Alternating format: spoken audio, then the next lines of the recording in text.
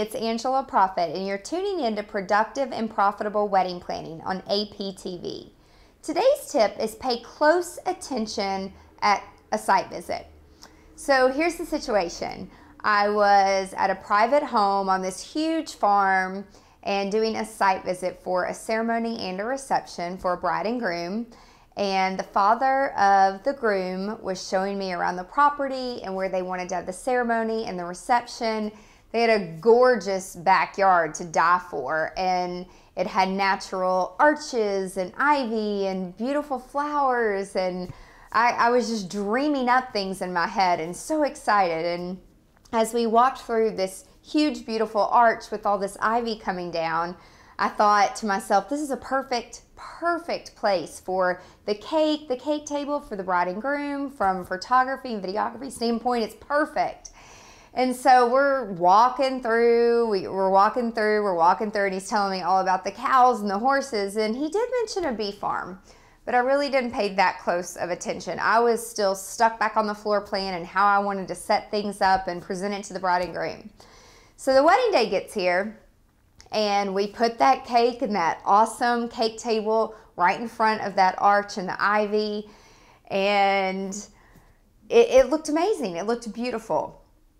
And the ceremony got started, and it was in the front yard. The reception was in the backyard, and I'm standing in the front yard getting the ceremony going, and get, we get the bride down the aisle, and the caterer, the banquet captain, is motioning for me to come into the house, which is where they were prepping all of the food and getting ready for cocktail hour.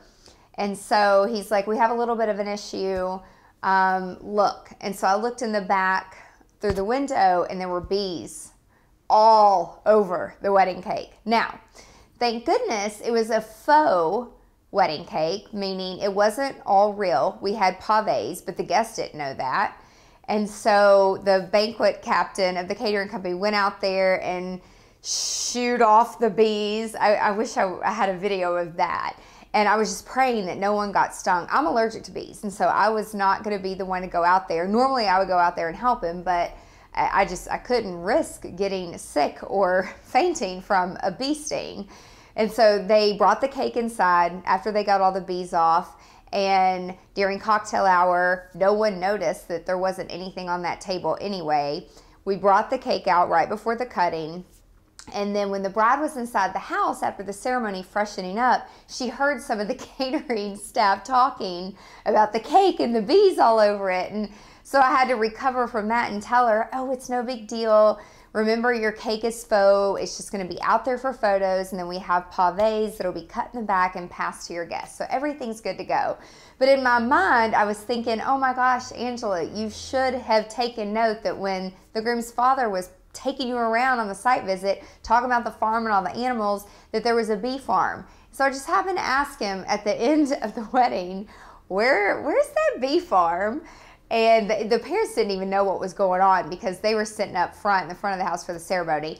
And where the bees were located happened to be in a little area right behind that arch. So only if I had asked more questions and paid attention, that wouldn't have happened. Luckily, nothing really bad happened. We still had a cake for photos and we still had clean cake for the guests to eat at the end of the night. But be sure to play but be sure to pay close attention when you're doing a site visit, especially at a private home wedding. Did you like this video?